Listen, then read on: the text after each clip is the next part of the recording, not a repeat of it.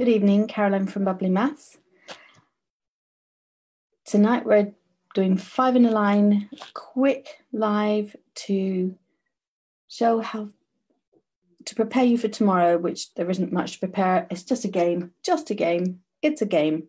It's a game which is helpful to train you, children and grown ups alike, in the skills that are required to do mathematics, to think mathematically, to think logically, to think uh, uh, strategically, and and it's and I've gone off on one again. I'm just attempting to share it, and it's I don't know where it goes when I do that. I press something and it goes off somewhere completely, not to do with sharing. So um, sharing's not working. So I'm not going to worry about that. What I am going to do is have a look at see what you can see to make sure that you can see what you're supposed to see.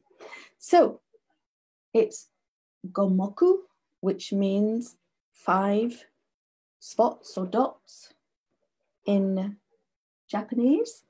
And it's a game to work at all levels. So tomorrow morning, we're going to be talking about a little bit more about the usefulness of it in learning. So I'm just going to quick do one run for early years. There are different levels of early years. Early years you can play tic-tac-toe and keep playing tic-tac-toe. That's a game, it took me a while, quite a long while to work out how to actually win tic-tac-toe. And frankly, I don't remember how to win tic-tac-toe now. I can't, couldn't tell you, this is how you do it.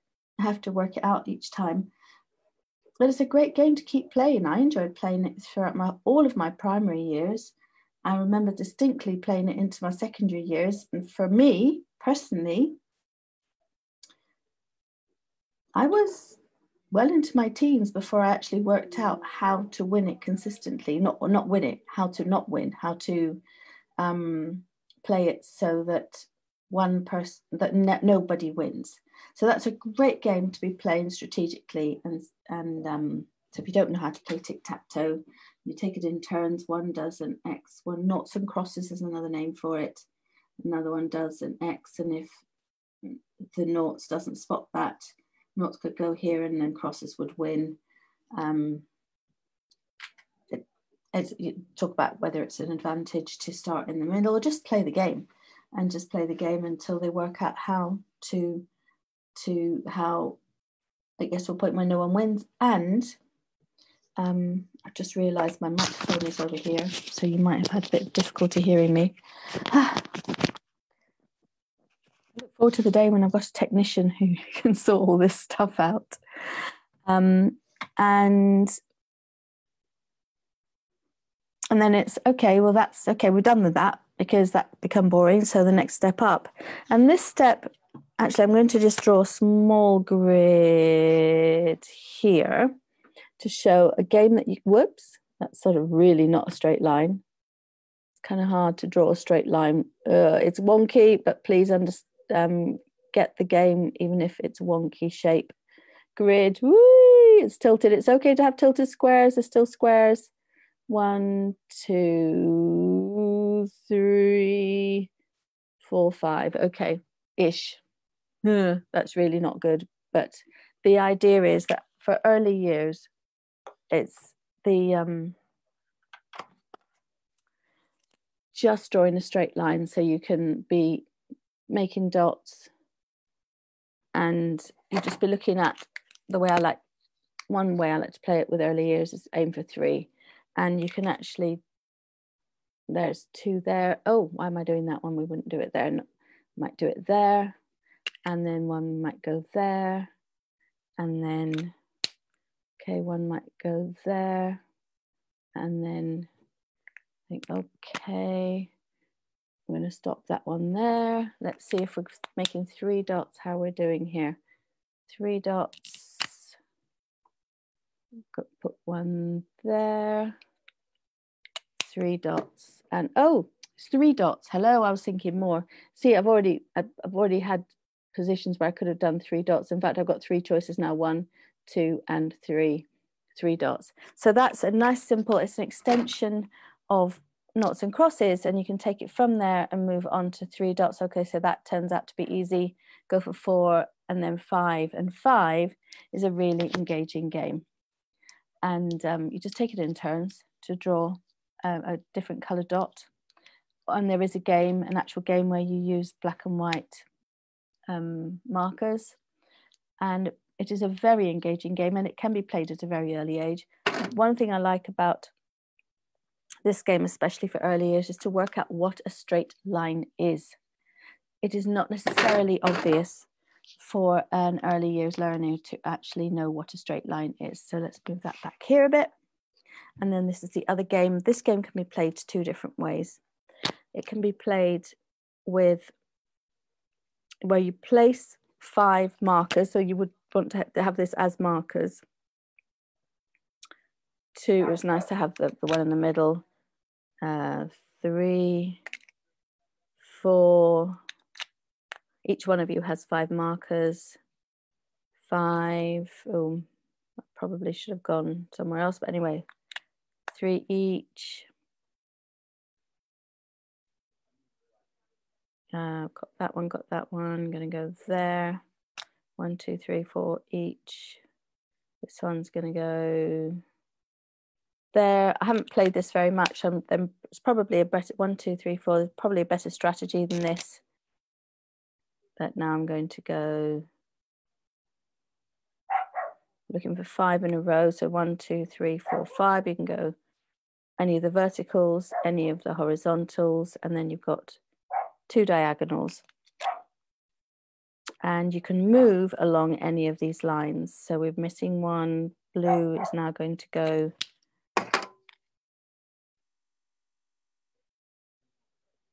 where it's going to be a good position because you want to do two. I'm going to, blue's going to go here. And now from here on in, you have to move the markers.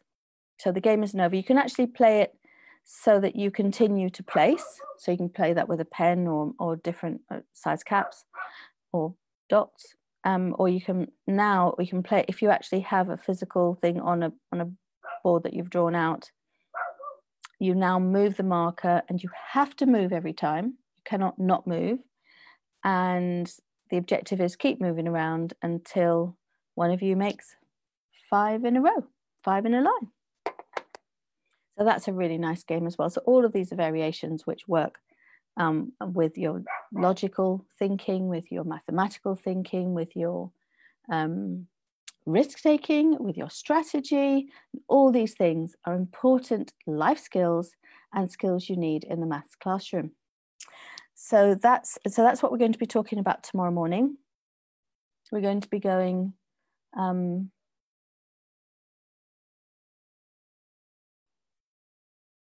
just into a little bit more detail. Pretty much a summary of what I've just said. And then we're going to play the game one last time. And we're going to um, really talk a bit, little bit more in depth about how playing these games is so important and it's it's enjoyable. You can have family time, play it in, in after after your meal every evening, play it in the classroom, have it as a starter, have it as a game you can play when you've completed a task. If you've got especially the, the, the high achievers or ones that if they just become disengaged, fine. Come play a strategy game. You're disengaged with the, today's activity. Don't sweat it. Don't don't get frustrated come play a strategy game that's going to stretch your mind, going to stretch your thinking, and going to enhance your ability to do mathematics. Or if, if worst case, it'll enhance your ability to think logically. So that's what we're going to talk about tomorrow. And I'm just going to see if anyone has actually joined us. Never did succeed in doing the Facebook Live. So let's me just see if anyone i did the live but obviously you're looking at it but i haven't don't know if someone's joined didn't succeed in doing the share in the we have had a couple of viewers unfortunately i can't see if they've left a comment yet so if you have left a comment i'll check later and and comment back if you have. Thank you very much for joining us. See you in the morning. That's nine o'clock in the morning. I will actually be this one i'm talking to grown-ups. Tomorrow morning i'll be talking to learners. So I'm going to review the, the three games that were appropriate for bang, seven to um, 18 year olds. And then at 10 o'clock, I'll be talking to early years learners and we'll play some games. So come ready with paper and pens. And if you want to play this game, set up the grid. I have put the, the, the activity in the description. So please do download that. It just gives you the grid and it gives you the layout for this game as well. So if you've got some dots or some, I've got these things to do on the on the board. I've got was I was using and I'll be using these in the morning. I've got fridge magnets, just letter fridge magnets that I can use on here. But if you're using if you're on horizontal on a table, you don't need fridge magnets. If you're enjoying these lives, please do share them and please do talk about them on your Facebook um, profile. Tell other people about them. Let encourage them to join the group if you find it's useful. And also, if you're on YouTube, please do subscribe to our YouTube channels. We have two. One is the Maths Toys YouTube channel, which is where every resource, these are resources that are created by AIMSSEC and it's, it's on the Aiming High website. And they're resources that we've started to create, not me, my colleagues have started to create um, family learning, home learning, and inclusion guides. So those ones are designed specially for you. And I've got the link to that in the description. And then on that, in the YouTube channel, it's the Maths Toys YouTube channel. We're in the process of creating and we'll eventually have one video for every home learning and inclusion guide. And the bubbly Maths YouTube channel, where we have all these lives have been uploaded and also we're starting to work with um, with published videos to help with maths anxiety and generally how to enhance home learning of mathematics. Thank you for joining us and I'll see you tomorrow. Bye.